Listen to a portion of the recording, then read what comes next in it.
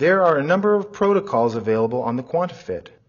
OHD recommends using the Redon protocol for all air purifying respirators and the SCBA protocol for all SCBA respirators.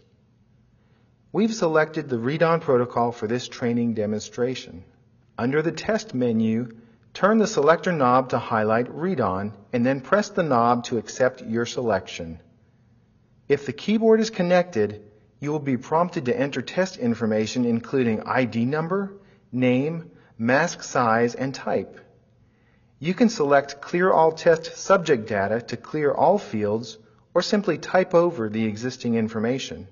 To move to the next entry field, simply press the selector knob or the enter key on the keyboard. After entering test operator name, you can then select Done Entering Subject Data. If there is no keyboard attached to the QuantiFit, you will not be prompted for this personnel information. The operator would have to complete this information on the printout at the end of the test. When no keyboard is connected, the operator must choose between a half-face and full-face mask.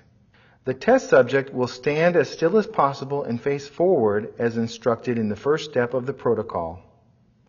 Instruct the subject not to breathe, exhale, or swallow, but remain completely still until the test is finished.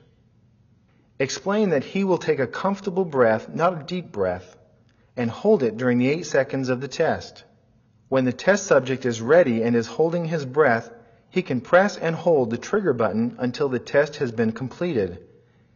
At the end of the 8 second measurement, the valve will automatically be released and the test subject can breathe normally. At this time, he can release the trigger button. If the test has met the minimum passing criteria, including a minimum passing fit factor, the operator will be prompted to begin the second step of the protocol.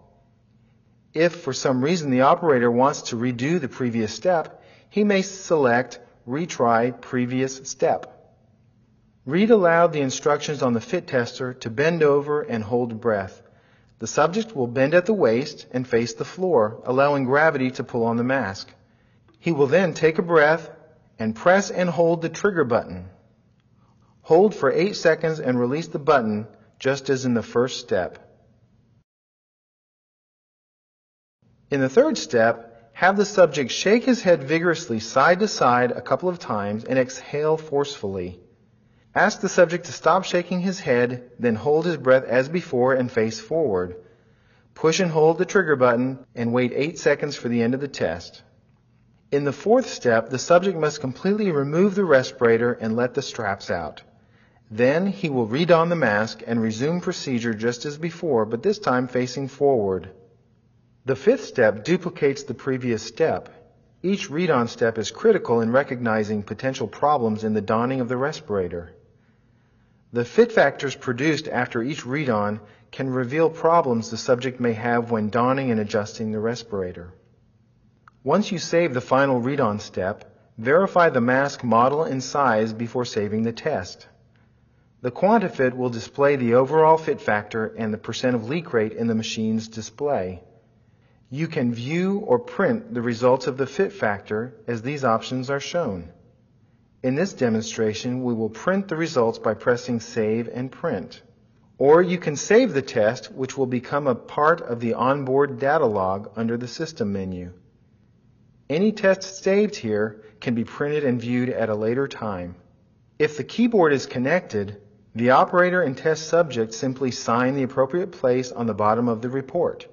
The Redon test is now complete. If there is no keyboard connected to the QuantiFit, the operator will fill in the subject's name, ID number, mask manufacturer, and size. Then the test subject and operator will sign the bottom of the form.